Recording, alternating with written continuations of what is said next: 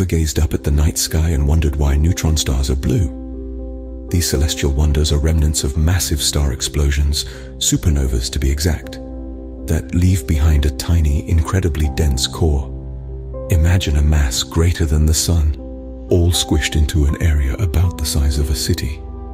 That's a neutron star for you. Now, despite their small stature, these stars are anything but cool. They're scorching hot, hotter than anything you'll find on Earth.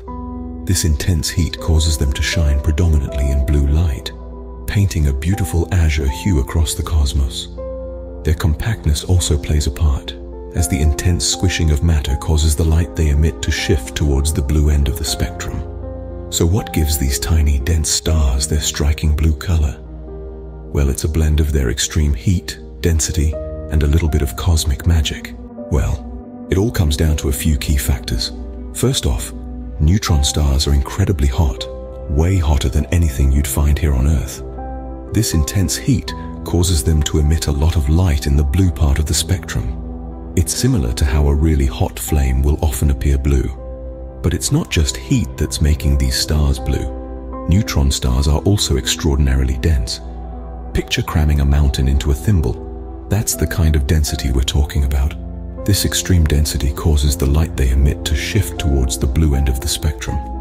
It's a bit like how water can bend light, except on a much more intense scale.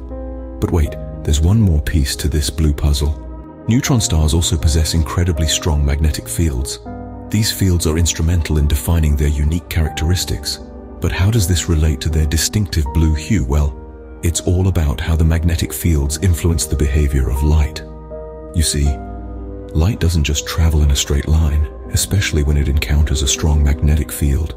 It's sort of like a car taking a detour due to a roadblock. The magnetic fields around neutron stars are so powerful that they can significantly alter the path of light, bending it towards the blue end of the spectrum. This magnetic bending, or Faraday rotation as it's scientifically called, gives neutron stars their characteristic blue glow. It's like the star is wearing a blue-tinted pair of glasses, making everything appear bluer than it would be otherwise.